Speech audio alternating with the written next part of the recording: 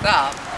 And don't do that. Do you remember how like there were so many people like uh, in that on that other 15th floor where we got? They were all like mingling together. Yeah, and, yeah. And they were like, so what happened? What happened? They were like all together, like, and they don't, wouldn't even like let us through because they were also like agitated and stuff. And then when they realized what happened, like one Russian would, would, would be like, oh, and they did all the way, they climbed all the way up to the, they are in the wrong building. Oh, my God! So she was like really feeling, Yeah, it's true. feeling for us.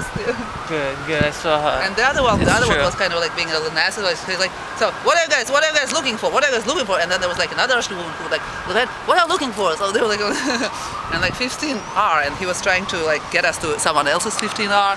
And I'm like, but the number, what is the number? Is it 64? The, for the 4, is it supposed to be 4? Like, this is 4, like whatever. He gave me some other number.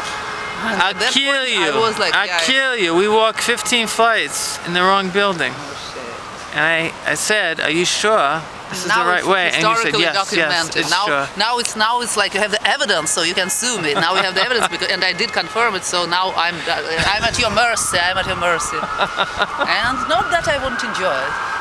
Oh, really?